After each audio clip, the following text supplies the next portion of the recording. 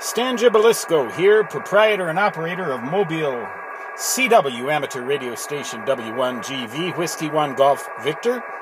I'm sitting in my driveway right now, tuned to 24.89831 megahertz uh, with the Transmatch, as you can see here, um, on the tuned antenna coax 1.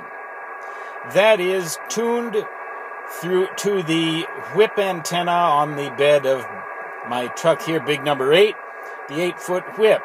That is a tuned antenna. This particular tuned antenna beat the um, ATAS active tuning antenna system a little earlier today. Uh, in a head-to-head contest with a trying to get a EW to respond to my call. EW being Belarus, used to be called the White Russian Soviet Socialist Republic, I guess. Uh, anyway, it's uh, an ex satellite country of uh, Russia. My tuned antenna beat the ATAS. Now, right now, they're both tuned uh, for this uh, particular frequency. Uh, you can tell that by just sending a little test uh, signal here.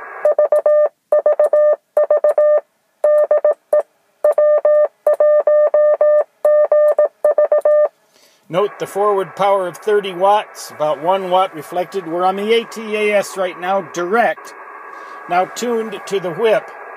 And once again,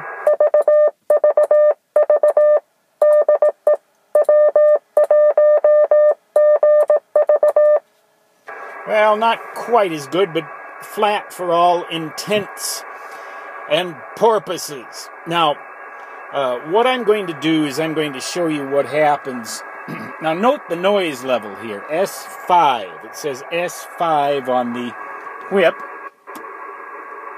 About the same, S6, S3, S6, S5. About the same here. The uh, noise that's received can sometimes be an indicator of how well the antenna is matched or how well it's going to perform on transmit. And I say sometimes. Now here's 15 meters. Now we've got to retune the ATAS now, and in order to do that, I hit this tune button. Watch the watch the SWR. That's kind of neat.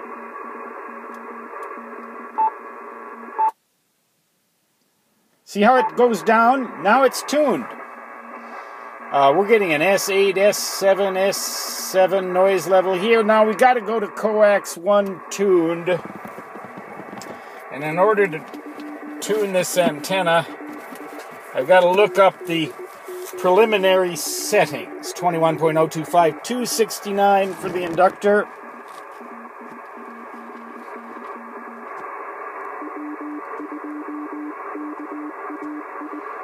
And for the capacitor, it says 85.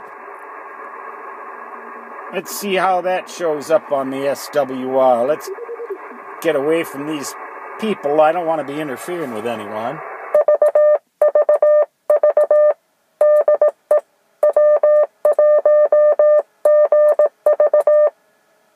One to one, perfectly flat. The noise level here registering S6, S4, S6, S7. See it fluctuating there. Now let's go to the direct ATAS. Oh, about the same noise level.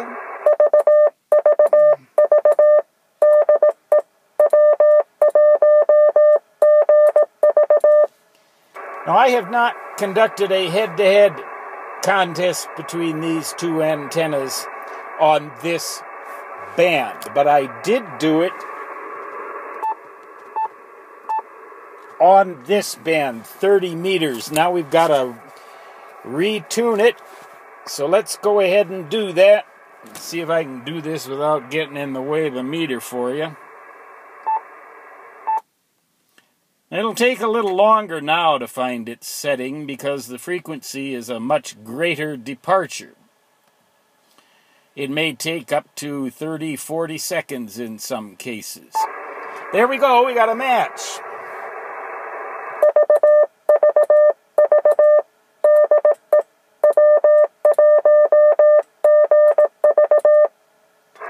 Note the noise level, about S8. Good steady S8. Now we'll go over to coax 1 tuned and on 10.120. That's the frequency I set it up for originally, 273 for the inductor. And 74 for the capacitor. The noise level's much weaker. Look, S1, S2, S4.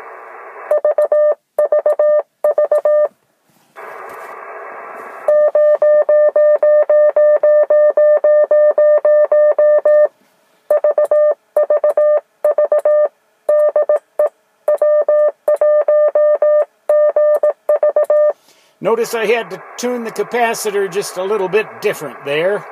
It's up to 78 now. Those are just preliminary settings.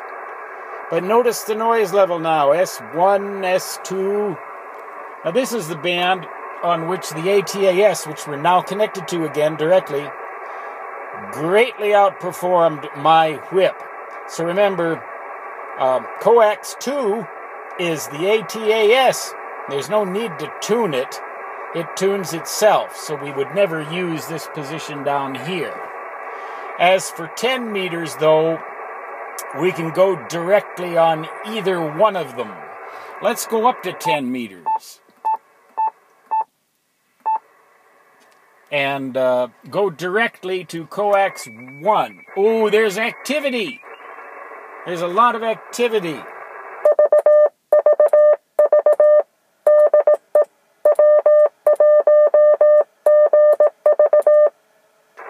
Flat, one to one SWR. Now we go to coax two and we got to tune it again. And, and once again, it's going to take probably quite a while now. Uh, the sleeve on that ATAS was about 8 inches above the base on 10 megahertz. It'll go down to within an inch or so on this band. It's down to about 2 inches. There we go! It's down to about an inch and a half, maybe two inches. Now we'll test it again.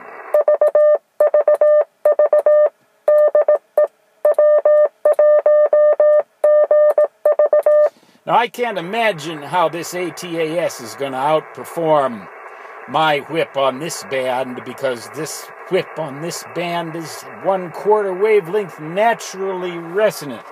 S6, S7 noise on the ATAS S7, S8 on the whip.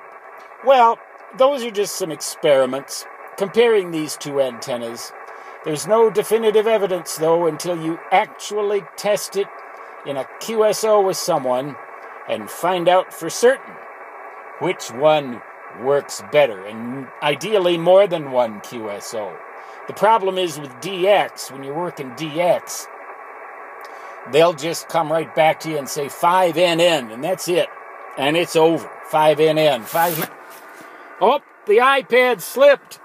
Well, the experiment is over anyway. You know, I have this iPad uh, mounted on here on a yardstick jammed down into the seat, taped up to that yardstick so that it'll stay at the displays there for you now you talk about you talk about contraptions. You talk about contortions. I am the absolute master of contortion. Believe me. Trust me. Stan Gibilisco, W1GV, Whiskey 1, Good Vibrations, signing off, saying 73, and so long for now.